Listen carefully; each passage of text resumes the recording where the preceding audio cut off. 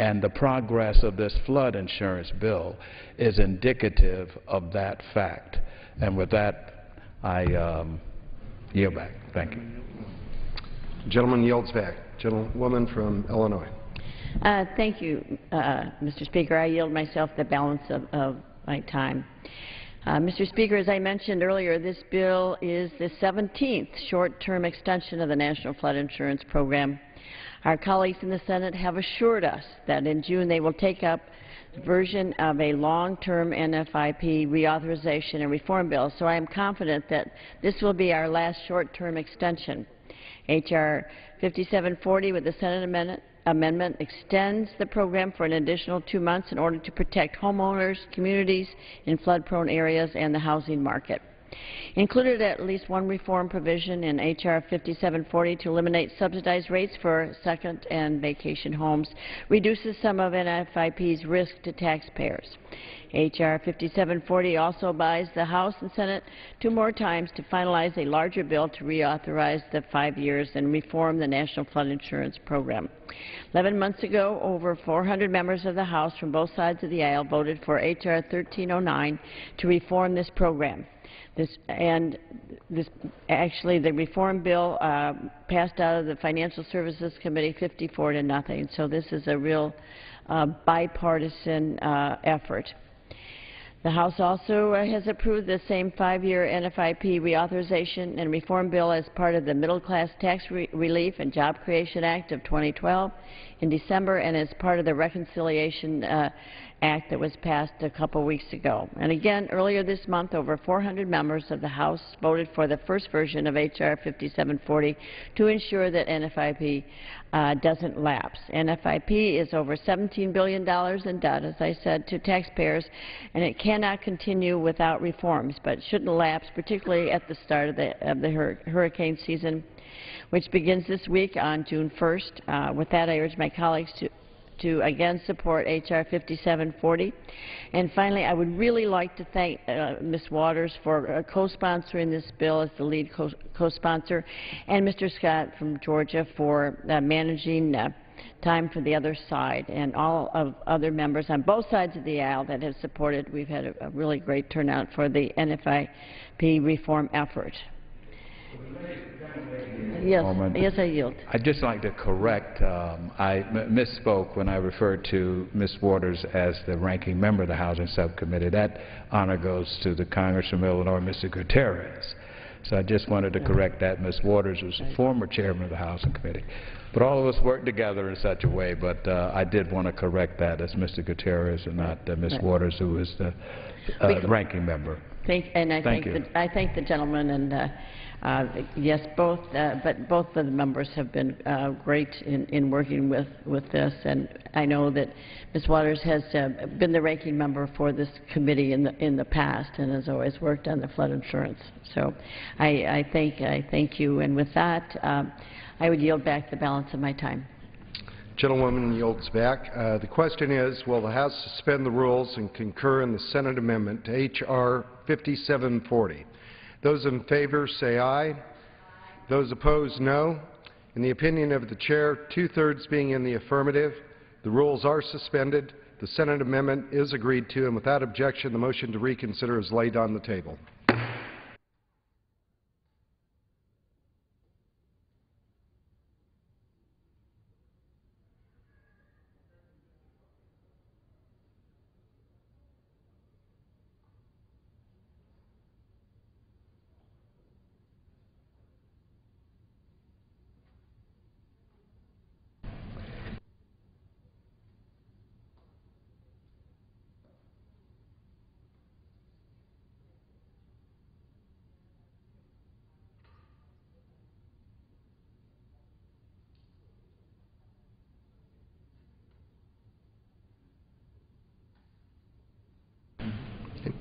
For what purpose does the gentleman from Illinois seek recognition? Mr. Speaker, I ask unanimous consent that the House suspend the rules and pass H.R. 4041 as amended. The clerk will report the title of the bill. H.R. 4041, a bill to amend the Export Enhancement Act of 1988 to further enhance the promotion of exports of United States goods and services and for other purposes. Pursuant to the rule, the gentleman from Illinois, Mr. Manzullo, and the gentleman from California, Mr. Berman, will each control 20 minutes. Chair now recognizes the gentleman from Illinois, Mr. Manzullo. Thank you. I ask unanimous consent that all members may have five legislative days to revise and extend and to submit extraneous materials for the record. Without objection. I yield myself such time as I may consume. Ge- Gentleman is recognized. Mr. Speaker, this bill has been many years in the making and as a result of several hearings, including the one I held as chairman of the House Small Business Committee back in 2006. This is simply a good government bill that costs nothing. I recognize that market forces play a predominant role in international trade. However, export promotion programs can play a useful role in helping small and medium-sized enterprises find new markets and customers overseas. Several small companies in northern Illinois expanded their operations and hired new workers after U.S. Commercial Service identified new exporting opportunities. Also, according to the National District Export Council, every $1 spent on export promotion has resulted in $135 in exports. However, many of our trade promotion programs are not fully integrated. This has been confirmed in various Government Accountability Office, GAO, and Inspector General reports measuring the effectiveness of the Trade Promotion Coordinating Committee, which is known as TPCC. Congressional intent behind the legislation this committee passed in 1992 has not been fulfilled. Our trading partners are well organized and effectively market their business overseas. I recall on one of my trips to China some years ago, the CEO of a very large uh, Chinese manufacturing company told me he often sees Europeans and Japanese as trade promotion officials, but he had yet to see Americans doing the same thing. And he asked me the question, where are the Americans? According to the National District Export Council, while the U.S. spends about 21 cents per thousand dollars of total exports on trade promotion programs and services, Japan spends 30 cents, France spends 43 cents, and Great Britain spends 75 cents. With small businesses offering the best prospect to boost export growth, we should make every effort to get the greatest return for any taxpayer money spent on export promotion. In 2006 and 2008, I introduced legislation that will reform the TPCC and move its responsibilities into the Executive Office of the President.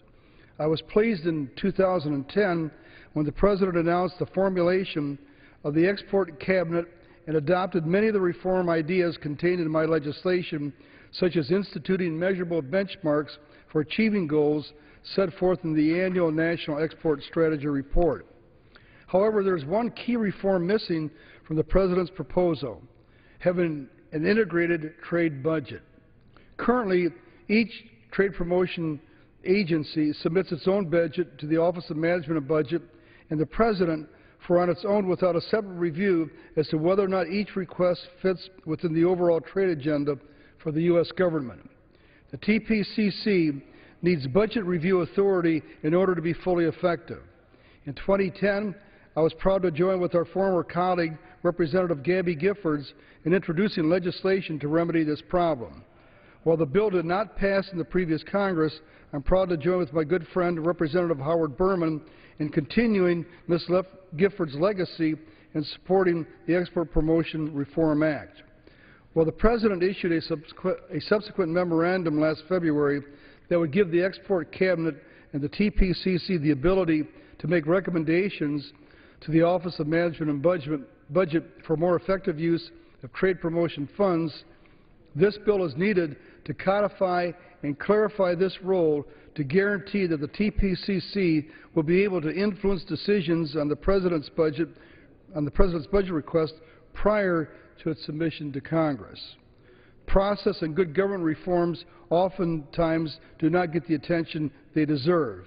However, this bill recognizes their importance. I urge my colleagues to support this bill because it will ultimately benefit small and medium-sized exporters.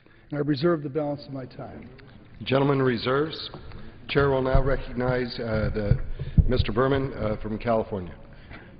Thank you, Mr. Speaker, and I rise in strong support of H.R. 4041 and yield myself such time as I may consume. Uh, Mr. Speaker, the Export Promotion Reform Act is a bipartisan, non-controversial bill that will help increase the export of American goods and services and in the process create new high-quality jobs. I want to really thank the gentleman from Illinois, Mr. Manzullo, uh, for working with me on this legislation. He has been one of the strongest voices for export promotion and export control reform in this chamber, and he's been a great partner to have on this legislation. And I also want to thank uh, my chairman the, of the Foreign Affairs Committee, Ileana Ros-Lehtinen, and her staff for helping to move this through the legislative process to this point. H.R. 4041 would implement recommendations by the GAO, the Governmental Accountability Office, to make more effective use of our export promotion programs. According to the Congressional Budget Office, the bill doesn't authorize any new programs, nor does it add any new spending or impose any new mandates. And I'd ask unanimous consent to include the CBO anal analysis at this point in the record. Without objection. The bill has been endorsed by a number of prominent business organizations, including the U.S. Chamber of Commerce, the National Association of Manufacturers, and the Business Roundtable. And I'd ask unanimous consent that the letters of support from these organizations be included in the record at this point. Without objection.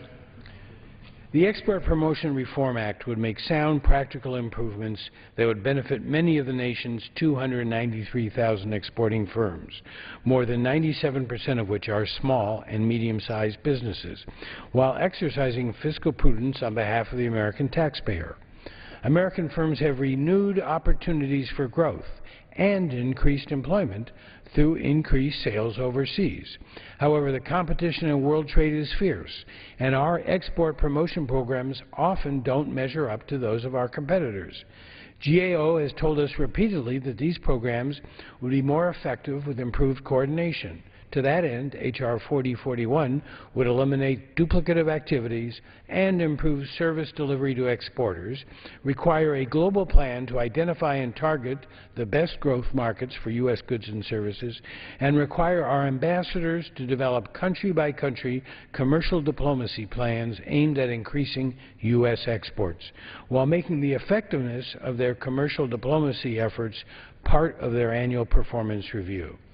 Mr. Speaker, the U.S. Department of Commerce estimates that every 1 billion in U.S. exports supports approximately 5,800 jobs here at home. With 95 percent of the world's consumers living overseas, expanding U.S. export world market to world markets is one of the best ways for American business to grow and create jobs. I urge all of my colleagues to support this legislation, and I yield back the balance of my time. Gentleman yields back. Chair now recognizes Mr. Manzullo. I Gentleman yield from back. Illinois. Gentleman yields back. The question is, will the House suspend the rules and pass H.R. 4041 as amended? Those in favor say aye. Those opposed, no. In the opinion of the chair, two-thirds being in the affirmative, the rules are suspended. The bill is passed, and without objection, the motion to reconsider is laid on the table.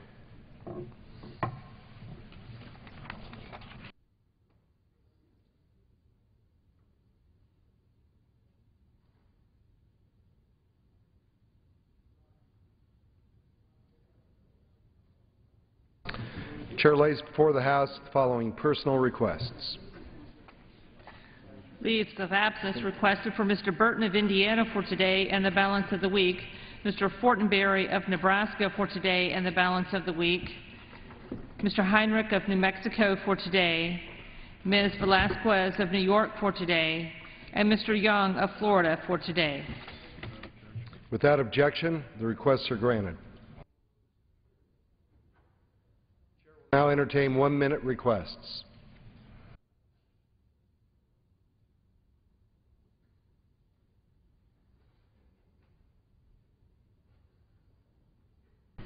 Chair now lays before the House an enrolled bill.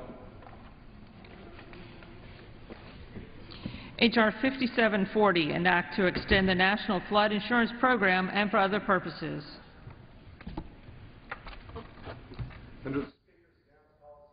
25, 2011. Gentlelady from Florida, Ms. Wasserman Schultz, is recognized for 60 minutes as the designee of the Minority Leader.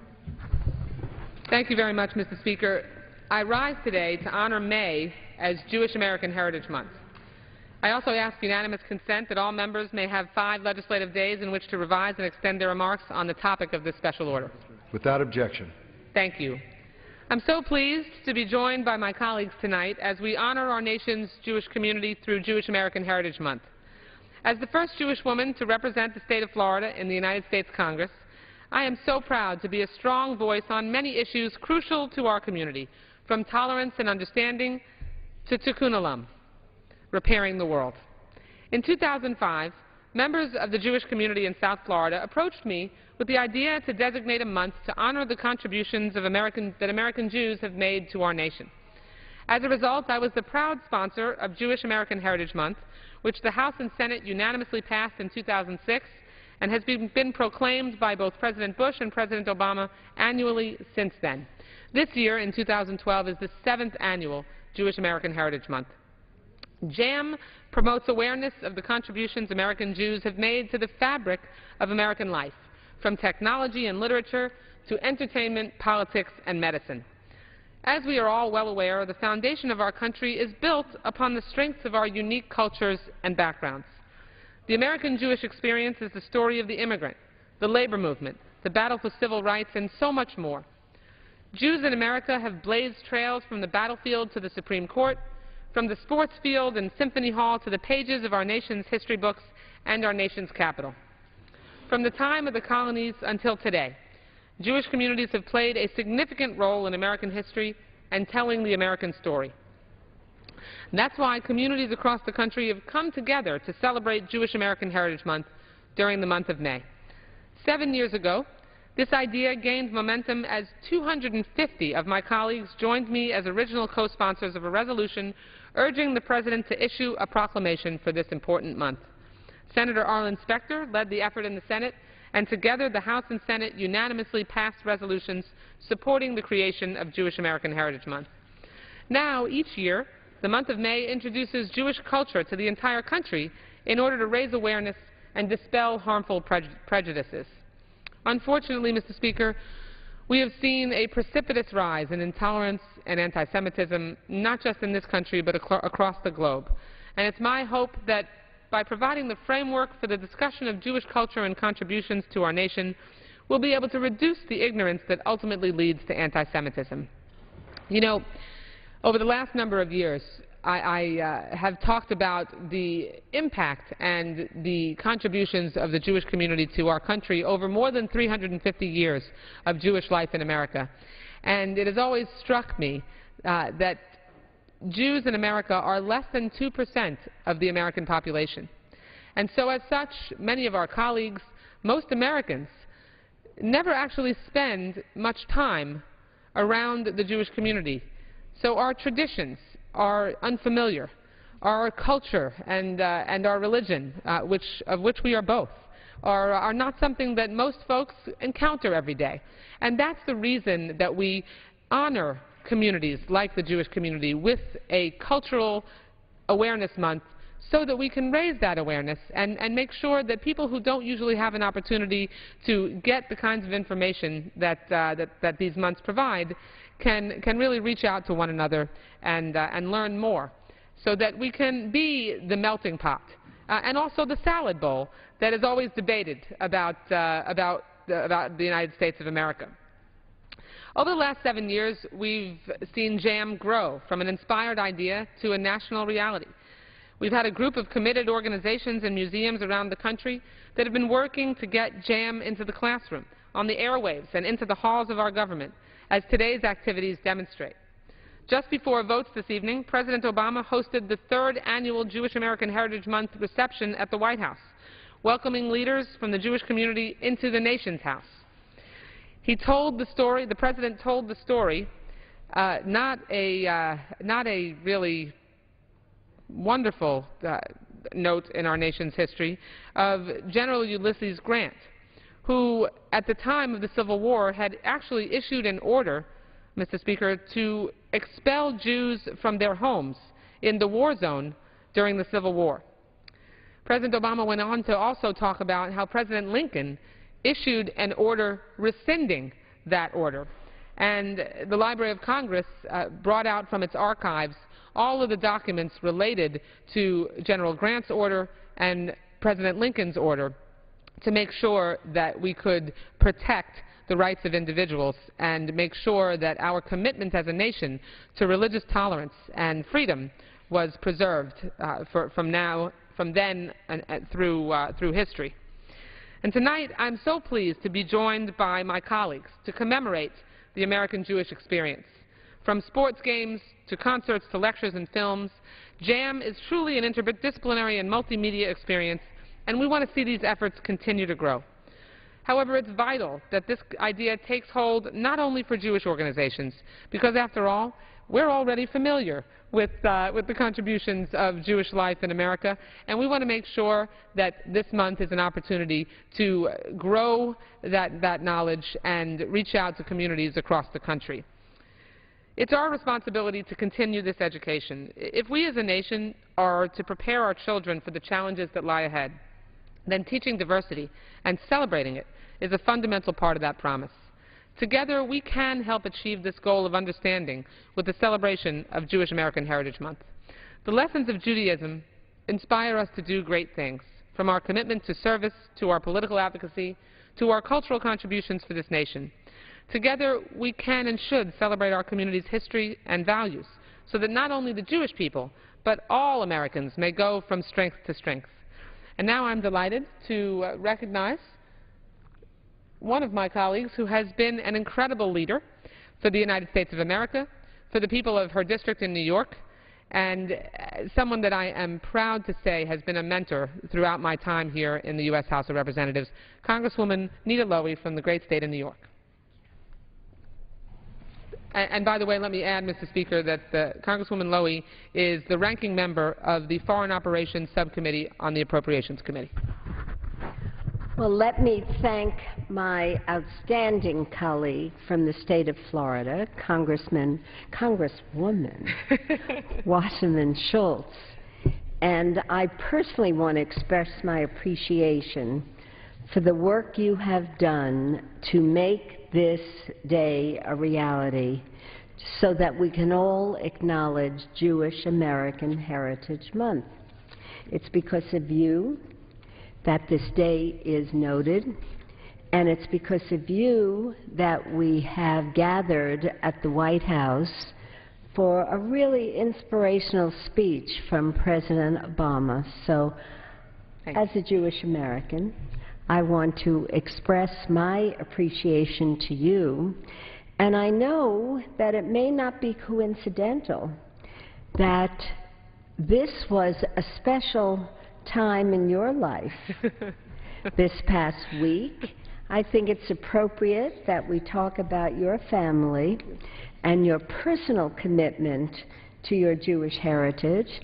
And during this month, last week I believe, your daughter celebrated her bat mitzvah or b'nai mitzvah. My son and daughter. And this is such an amazing, amazing time in your life when your daughter or your son reaches that point where they have studied, they have learned what it is to be a Jewish American here in the United States of America, and I am sure that your family was just overflowing with joy.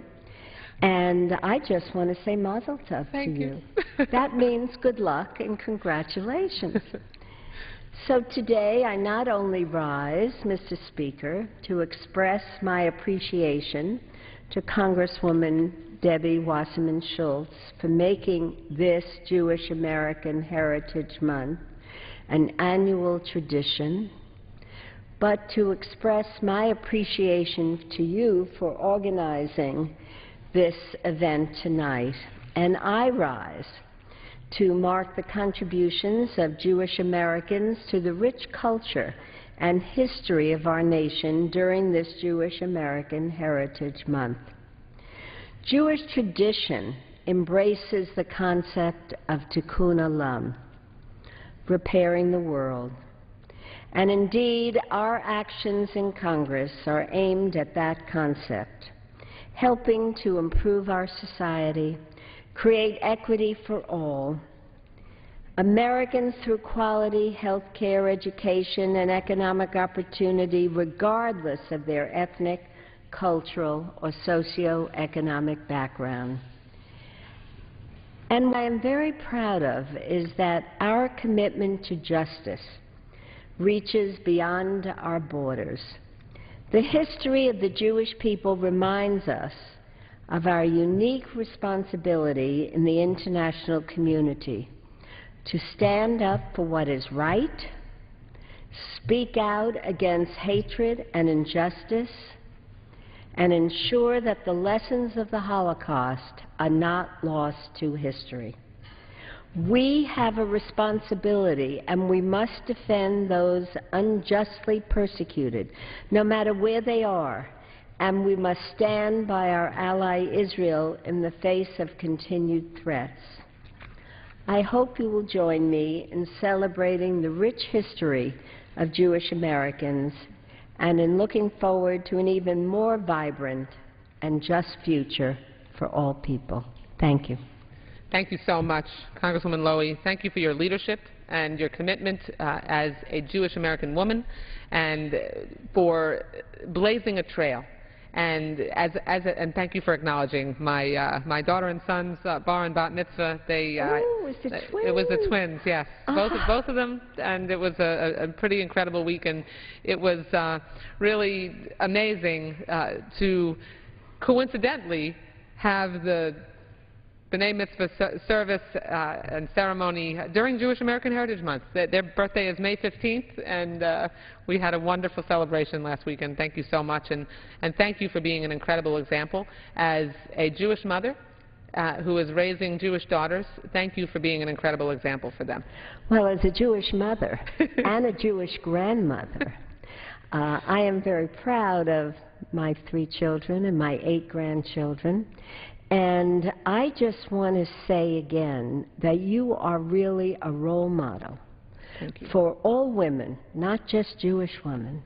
A strong woman with integrity who is committed to her Judaism, her family, and yet you understand so well that we have an obligation beyond ourselves as we lift people up and hope that all people in the United States and America and around the world have the opportunity to raise children and have a good life and can have a future. So I want to thank you because you are a role model that just does it all.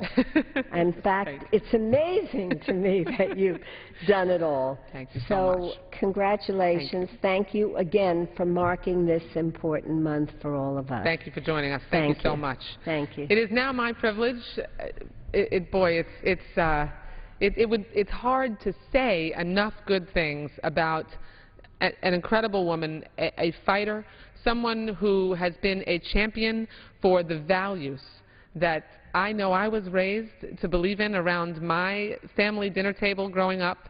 The the epitome of Tikkun Olam. And Mr. Speaker, let me, uh, we're going to use some Yiddish phrases here and, and Hebrew, uh, Hebrew expressions uh, tonight that, uh, that some may not understand, but the foundation of the Jewish community and our commitment to service and our commitment to fighting injustice is, is based in the notion of Tikkun Olam, which means repairing the world. And so often we have uh, mountains in front of us that seem so tough to climb, and repairing the world can seem like an insurmountable obstacle, but uh, working together to address a little bit of injustice, just a, a small bite at a time, but banding together to do it is, uh, is something that the Jewish community has stood for for many years, and there is no finer example of someone. I, I have to tell you that Jan Schakowsky, as a representative from Illinois, and as someone who had a reputation that I became aware of long before I actually had the privilege of serving in this institution, was someone I wanted to be like when I grew up. Because she has been the absolute epitome of what I know I was taught to believe in around my family table, which was that we should stand up for people who have no voice, fight for the civil rights and civil liberties uh, that we are all in, that are instilled as Jewish values. And I, I'm so thrilled that you joined us here tonight, Congresswoman Jan Schakowsky from the great state of Illinois. Thank you so much, Debbie Wasserman Schultz, for your leadership role in making American, uh, Jewish American Heritage Month a reality.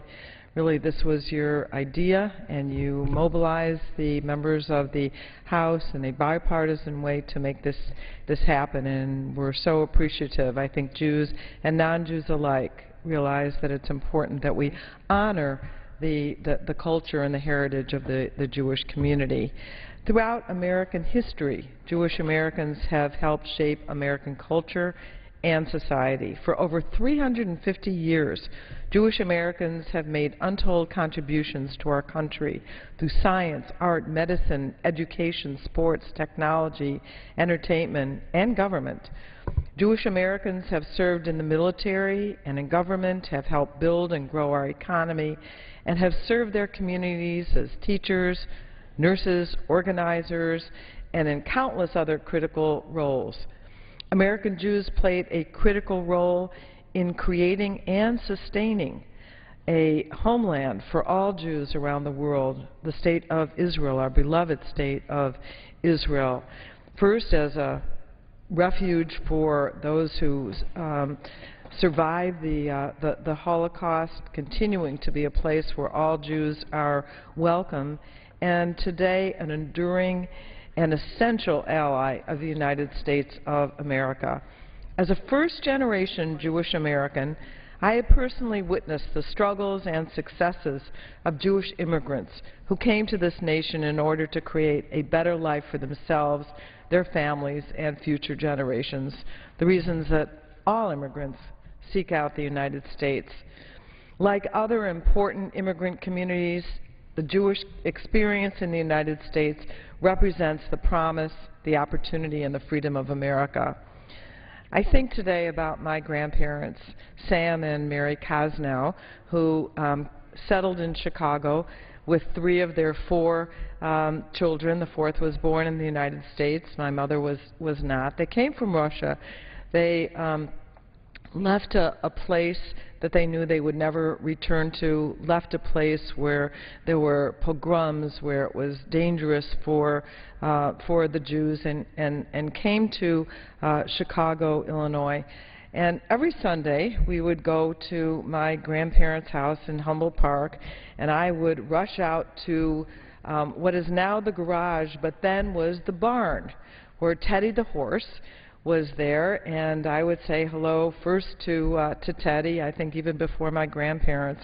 And Teddy would pull the cart that my grandfather, a peddler, um, would, uh, uh, every weekday, he would get up at the crack of dawn and take Teddy and the, and the wagon to the uh, vegetable and fruit market several miles away and, and load up the, uh, the cart.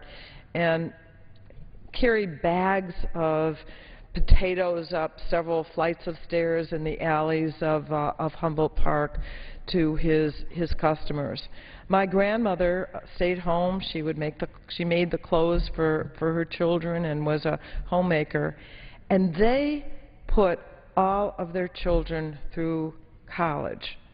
That was the American dream. My grandfather as a peddler, now college tuition wasn't what it is today, and it was easier to, uh, to do that. But two teachers, one lawyer, one uh, business uh, college uh, student, um, all of those children of Sam Cosnow the peddler, could make it in, in America. That is the American dream. It's the immigrant dream. It's the dream of hardworking people who believe that if you are willing to get up at the crack of dawn and, and carry potatoes up the back porch, that, y that you could do it here. That's the America we dream for everyone and for, for our, our children and their children, that, that, they can, that they can have a good life if they are willing to, to work hard.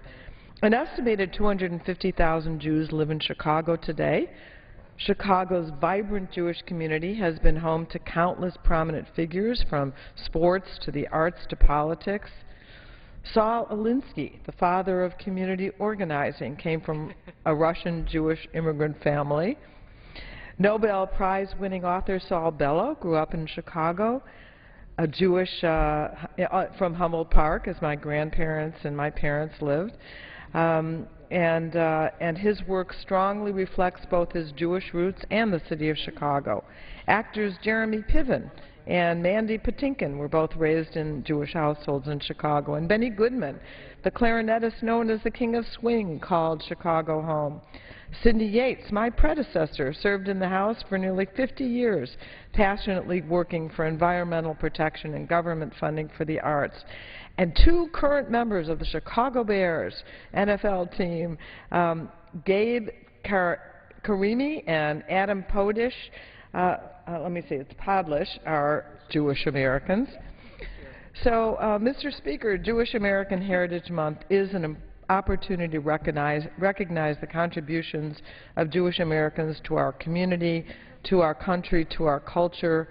For 350 years, Jewish Americans have made extraordinary contributions to American life and uh, culture, and in Chicago and throughout the country, American Jews continue to be leaders in their communities. And all of those Jews in America today owe uh, a thank you to Congresswoman Wasserman Schultz for creating Jewish American Heritage Month of May. So I thank you and I yield back. Thank you so much, uh, Congresswoman. And let, let, me also just thank you for your leadership as a ranking member of uh, the Subcommittee on Commerce, Trade, and Consumer Protection for the, for the Energy and Commerce Committee. And your leadership in the area of health care uh, has been incredibly important for America. And uh, I, I, think it's interesting. You, you first of all, you, you, taught me something that I didn't know tonight. I did not know that there are two Jewish players on the Chicago Bears. Okay. So, and one of your staffers was joking with, one, with my staffer today, uh, saying that there are actually more Jews on the Chicago Bears than there are in the Illinois delegation. That's right. Which is really kind of ironic, actually. That's right. Yes. Thank you so much for being here. So now it's my privilege to, uh, to introduce a friend, acknowledge a friend and colleague from the neighboring district to mine, uh, someone who is, is a uh, relatively newer member who has some big shoes to fill but has uh, done so capably, serves as a member of the House Committee on the Judiciary and the House Committee on Foreign Affairs, was a state senator in the state of Florida, and I'm fortunate that I don't need his bio as a cheat sheet because I know him so well, my, our, our colleague from the great state of Florida, uh, Congressman Ted Deutch. Uh, well, thank you very much uh, to my dear friend, Congressman Wasserman Schultz, and thank you for your committed work to making sure that, that not only this special order hour took place, takes place tonight, but for your work in ensuring that Jewish American Heritage Month became a reality. Um, you're to be commended for that, and I think we're all the better for it, and I appreciate it. Uh, I appreciate the opportunity to be here tonight. Mr. Speaker, Uh, I rise to celebrate the seventh annual Jewish American Heritage Month, an opportunity for our nation to recognize the many contributions of Jewish Americans throughout our history. America's Jewish community has helped shape our country since its inception. Jewish Americans have courageously served in our armed forces in every major conflict in our nation's history. They've also helped drive, American, drive America as a powerhouse of economic innovation contributing key advances in everything from science and medicine to the law and the arts. Today, as we mark this year's Jewish American Heritage Month here in Congress, I'd like to highlight our community's tremendous contributions to American social policy. Jewish Americans have a long history of shaping our political priorities as a nation. I'm proud to be part of a community that has led efforts to protect the most vulnerable, to ensure fairness in our justice system, to promote economic opportunity, and to safeguard the religious freedoms and liberties of all Americans. We need, no look, no, we need look no further than Social Security, a program that helps keep 50 million Americans economically secure each year. Serving on the committee that helped establish Social Security, was Wilbur Cohen, a man who eventually was appointed by President Kennedy as an Assistant Secretary for Legislation of Health, Education, and Welfare. As a member of President Johnson's cabinet, Wilbur Cohen's influence over issues that impact America's seniors continued to grow, and many today regard him as the man who built Medicare. Jewish Americans also took an active role in our nation's struggle for civil rights. In the 1950s and 60s, Jewish Americans were passionately engaged in the struggle for civil rights. Rabbi Stephen Wise, a great American Jewish leader, was one of the founders of the NAACP. And he made the case that civil rights were not only a Jewish issue, but civil rights was a quintessential Jewish issue. He understood and believed firmly that the Jewish community, that the nation, America was stronger when prejudice was defeated and when equal rights were extended to all. Rabbi Abraham Joshua Heschel marched with Dr. Martin Luther King, Jr. in Selma. And in reflecting upon that march, Rabbi Heschel said, When I marched in Selma, my legs were praying. It was an understanding, his understanding, his commitment to what he viewed as essentially the holy work of lifting up all Americans and ensuring equal rights for all. Several prominent Jewish activists, including Michael Schwerner and Andrew Goodman, lost their lives along with African American activist James Chaney while fighting for the right to vote alongside organizers in the South. And perhaps there is no greater indication of Jewish Americans' involvement in the struggle for civil rights than the fact that both the Civil Rights Act of 1964 and the Voting Rights Act of 1965, two landmark pieces of civil rights legislation, were both drafted as legislation at the Religious Action Center of Reform Judaism. As a Jewish American, I'm honored to be part of a community that throughout our nation's history has helped make America a more fair and a more just nation.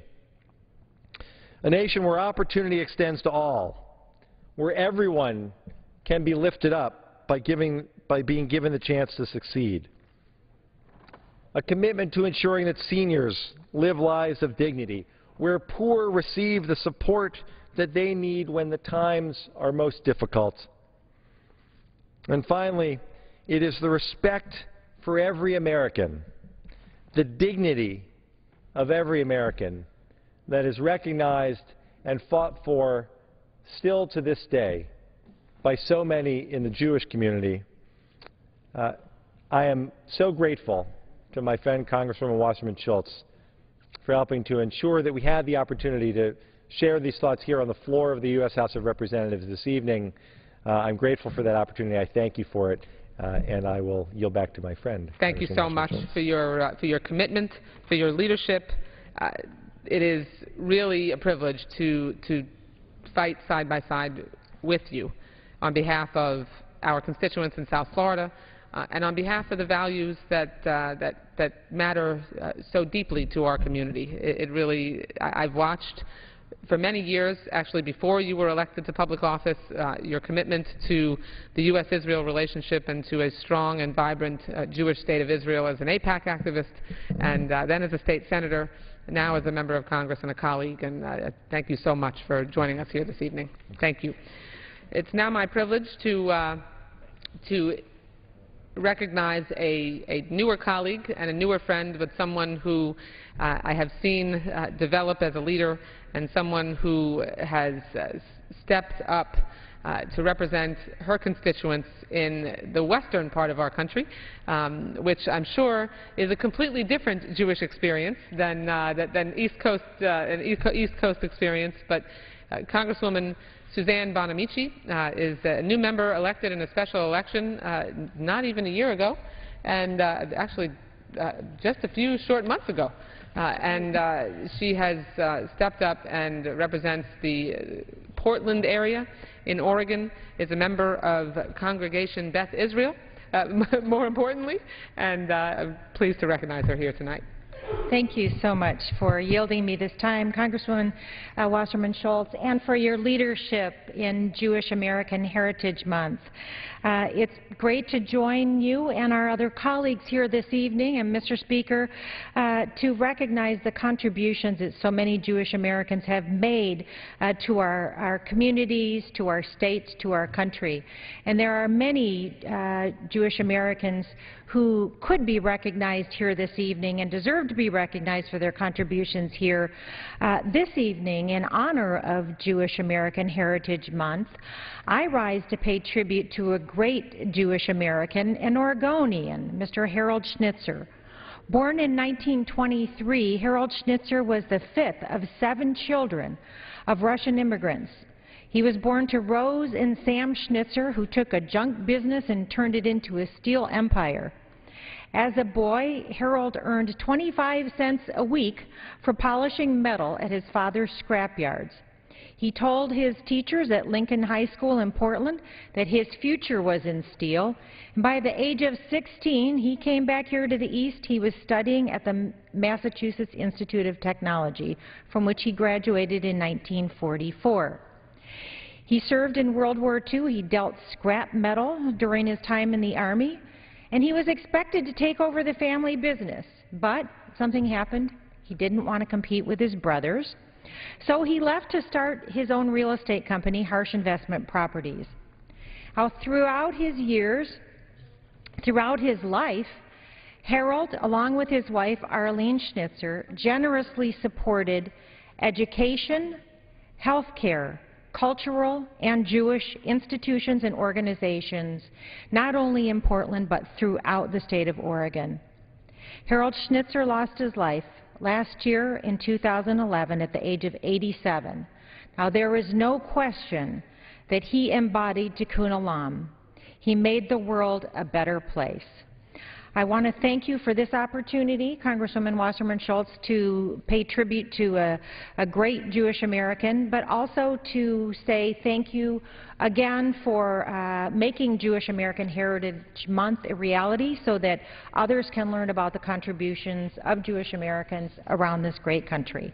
Thank you again for this opportunity, and I yield back my time. Thank you so much, and thank you uh, for your service on the House Committee on the Budget. We serve on that committee together, and uh, you have represented your constituents well, and I appreciate you honoring the contributions of uh, Jewish Americans across this country here tonight. Now it's my privilege to uh, bring to the rostrum, for lack of a better term, a, uh, a friend and colleague who represents uh, the southern region of California and in San Diego, yes, and who has been an incredible leader in the on the Armed Services Committee, uh, who has uh, definitely, in her own right, been a, a Jewish leader and, uh, as a Jewish woman, someone who has taken a leadership role in the area of the armed services, not, not only not traditional for women, uh, but uh, one that we have a we have a story to tell about uh, Jewish involvement throughout our uh, American military history, and uh, I'm, I'm going to share a little bit about that later. But thank you so much. Congresswoman Susan Davis. Thank you, and I'm going to thank um, my colleague Debbie Wasserman Schultz for having us together to talk about Jewish American Heritage Month uh, this this evening. It's it's important for us to do that, and whenever we think of perfecting our union. The President spoke about this a little bit today as he hosted a number of uh, individuals in Jewish community and people from around the country today. And the thing that I always think about is Tikkun Olam, because it is part of our tradition to repair the world. Many, many Jewish people came to the United States having left a community in which they weren't able to make contributions.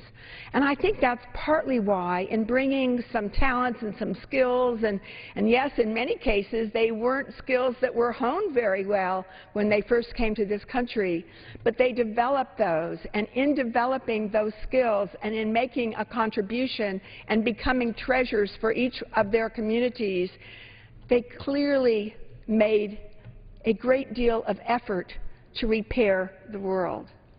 They continue to do that in so many, many ways.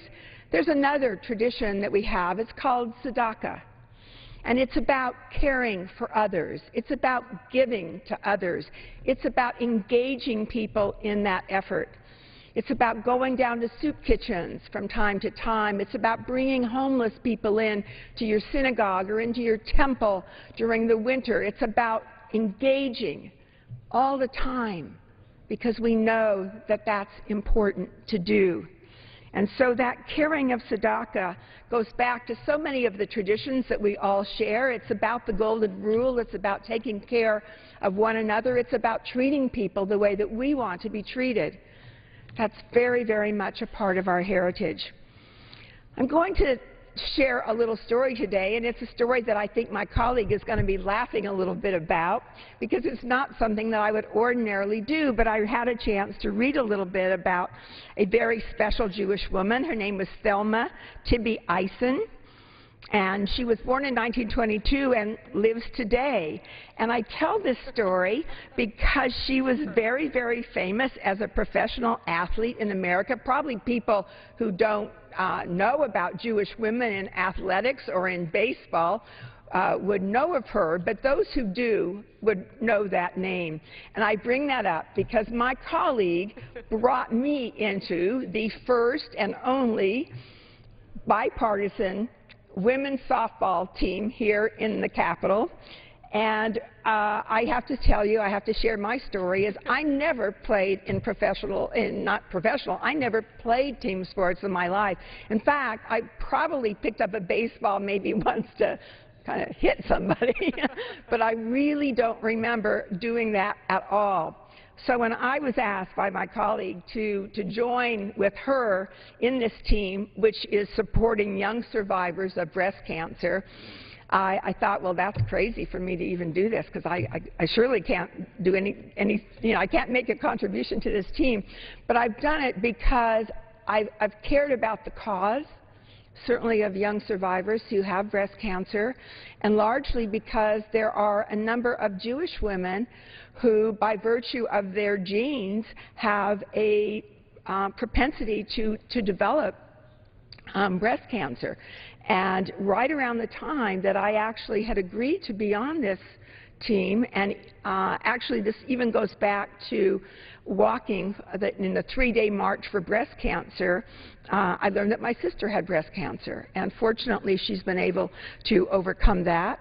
But it was something that I knew and I had to take uh, account in my own life as well.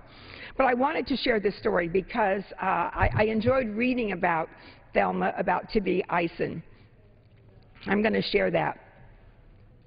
One of the most versatile and talented Jewish professional athletes in America was Gertrude Tibby Eisen. She was born in Los Angeles in 1922, and she was a star of the All-American Girls Professional Baseball League, the only professional women's league in baseball history. And the Women's Hardball League lasted from 1943 until 1954, and she was one of at least four Jewish women in that professional league as its only Jewish superstar and a pioneer in American women's sports, she was an outstanding athlete in her native Los Angeles, and she started playing semi-pro softball at age 14. And when the league was formed in 1943, she won a spot on the Milwaukee team, which was moved the next year to Grand Rapids, Michigan. And her best season was in 1946 when she led the league in triples. She stole 128 bases and made the All-Star team. Now, the part of the story that I particularly like was that Eisen's family was very ambivalent about the career choice that this, quote, nice Jewish girl had made, although she ultimately won all of their respect. And I quote, we played a big charity game in Chicago for a Jewish hospital, Eisen recalled in an interview with historian David Spanner. My name and picture were in every Jewish newspaper. My uncle, who had said, quote, you shouldn't be playing baseball, you'll get a bad reputation, a bad name, was in the stands, bursting with pride that I was there. When she retired from professional baseball in 1952, she settled in Pacific Palisades area and became a star for the Orange Lionette softball team, leading them to a world championship in 1993. She helped establish the women's exhibit at the Baseball Hall of Fame in Cooperstown, New York, Cooperstown, New York. And she wanted to have all this recorded to keep the baseball league in the limelight. Gets pushed into the background, she said, just as women have been pushed into the background forever. If they knew more about our league, perhaps in the future some women will say, hey, maybe we can do it again. Well, that's probably how all of us feel here in our bipartisan effort in, in women's softball. We're going to play this, this game on June 20th. We're going to play against um, all of our, our women colleagues in, in, uh, in TV and radio and, and in print, the media, and we certainly hope that we're going to bring back a, a victory here. and if I, if I may, Mr. Speaker, I wanted to just highlight a few people really my contemporaries in San Diego who have made such a contribution because they're well known in our community and certainly when we think of Jewish American Heritage Month, we can't but help think of these individuals who today are continuing to make a contribution. Uh, two of them uh, have, have, passed on. One, of course, is Jonas Salk, that we all know very well. The Salk Institute of San Diego continues to educate our scientists for our country and really for the, for the world globally. I've had an opportunity to meet with a number of young scientists there from time to time, and their enthusiasm and their desire to, to really cure diseases in our country are just uh, always inspiring, and I, I, think of them often when I think of the Salk Institute. The other person who I wanted to highlight very briefly is a gentleman named Sol Price. Sol Price um, was the founder uh, of Price Club, he and his family. And whenever you think of ingenuity and innovation, entrepreneurs, um, he, he was uh, great, great at this.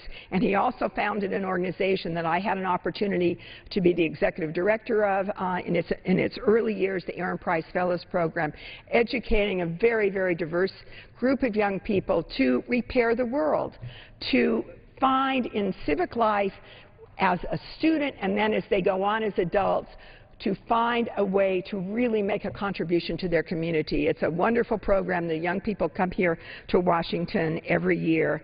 And finally, to just say, uh, in regard to great contributors uh, in our community and across, across the world today, Dr. Irwin and Joan Jacobs, um, Dr. Jacobs, the founder of Qualcomm, along with Dr. Viterbi in San Diego, who have made such extraordinary, extraordinary contributions and continue to do that every day.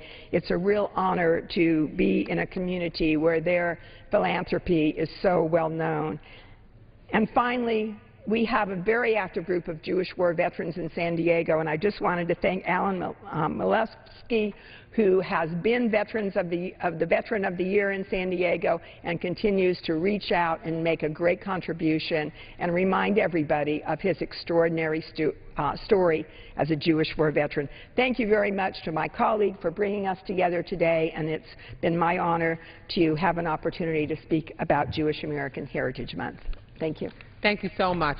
Th thank you, Congresswoman Davis. Uh, thank you for your leadership and for sharing the stories of the uh, important contributions that Jews in the San Diego community in America uh, have, uh, have made to the fabric of American history. It's, it's now my, my pleasure and my privilege to ask my colleague from the great state of Connecticut, Chris Murphy, to, uh, to, to, share some things. I, I had uh, this is a, uh, a, a, reunion of sorts. Uh, a number of years ago when, uh, when uh, Mr. Murphy and I, uh, along with uh, Mr. Ryan from Ohio and our former colleague Congressman Meek from Florida, we used to spend a little time down here on the House floor around this time of night or, or later in the 30-something working group. and you, you may still actually be eligible to, uh, to participate. I, I no longer would be. Barely. Um, may, maybe, maybe I'd be part of the something in, in 30-something. um, but I did have a chance to meet your fantastic Lieutenant Governor Nancy Wyman today at the uh, Jewish American Heritage Month reception at the White House, and uh, uh, she's uh, obviously a, an incredible leader, an example of, uh, of the political leadership that is part of the contributions that uh, American Jews have made to, uh, to, to American life. Mr. Murphy? Well, thank you very much, uh, Congresswoman Wasserman Schultz. And uh, I don't think that we were ever allowed down on the House floor this early. Uh, it was uh, normally close to the witching hour when myself and Right. Representative Ryan, you, and uh, Representative Meek were down here. But uh, it is wonderful to uh, be back here, and I was really touched when you approached me earlier today to ask me to come down and say a few words because um, the Murphys are not a very well-known Jewish American family. Um, and yet, uh, in Connecticut, um, we are uh, we are so so proud uh, of the uh, legacy that we've helped contribute to uh, with respect to Jewish American heritage, um, and this is a great way to be part of this month's celebration. You know, the, the list is long in Connecticut. Uh, you know, I think about somebody like Annie Fisher, who was one of the pioneers of uh, special education in this country, trying to segment out a different way to teach kids with learning disabilities. She was the first female principal, first female superintendent in Hartford, Connecticut. Uh, I think about a young guy by the name of Kid Kaplan, who was uh, from my district, from Meriden, Connecticut, was a uh, featherweight champion uh, of the world, uh, one of the top 10 featherweights uh, by most people's uh, estimates. Um, but I think maybe most uh, about uh, some of the political legacy that uh, Jewish Americans from Connecticut have left this country. Um, I think a lot about uh, Abraham Ribicoff. Um, Abraham Ribicoff uh, was everything in Connecticut. He was our governor, he was our senator, he was our congressman, um, and um, he faced, uh, not so quietly, uh, Uh, the prejudice that so many Jewish Americans faced as they entered into political life and commercial life uh, throughout the last 100 years. He talked openly uh, when he first ran for governor about walking into social halls and hearing prejudiced whispers uh, throughout the room as he walked in. Um, he also talked about taking uh, that prejudice uh, head on. He'd walk up to the podium and he'd talk about the fact that he had lived the American dream as the um, son of Polish immigrants, as uh, a young guy who grew up working in zipper and buckle factories uh, throughout the Hartford region, that he was living the American dream and that if he could do it, so could everybody else and their kids in that room. He's probably best known for uh, a, a moment uh, at the podium of the Democratic uh, National Convention in 1968 when uh, Chicago police were outside treating protesters fairly roughly. He was the one member of the political elite to stand up on that podium and call them out for their tactics. Uh, and even with the mayor of that city sitting in the front row calling him some pretty unfriendly names, he uh, kept his cool and is credited with essentially marginalizing that kind of uh, violence, um, certainly uh, with historical hindsight. Um, and, and, maybe most importantly is that um, Abraham Ribicoff also saw uh, his role as one of the leading American Jewish political figures in this country uh, to help pave the way for others. Um, he had a young intern um, not long after he became U.S. Senator named Joe Lieberman. Um, he hired um, in the early 1970s as his administrative assistant, a young hotshot lawyer named Richard Blumenthal. Uh, and uh, the two of them both uh, given their political sea legs by uh, Abraham Ribicoff, are today uh, proudly serving as Connecticut's two United States senators, uh, both part of our proud political tradition in Connecticut uh, of uh, Jewish, Jewish American participation in American politics. So um, I'm really thrilled to be down here with you to share my gratitude for what Jewish Americans in Connecticut have meant to our cultural life, to our educational life, to our sporting life, and yes, uh, to our uh, political life. Uh, Representative Wasserman Schultz, thank you for your leadership and thank you for uh, allowing me and asking me to come down this evening. Thank you so much, uh, Mr. Murphy, and, and, thank you for your leadership on, as a member of the Foreign Affairs Committee as well, and your commitment and support to uh, a strong U.S.-Israel relationship, also an important issue to, to those of us in the Jewish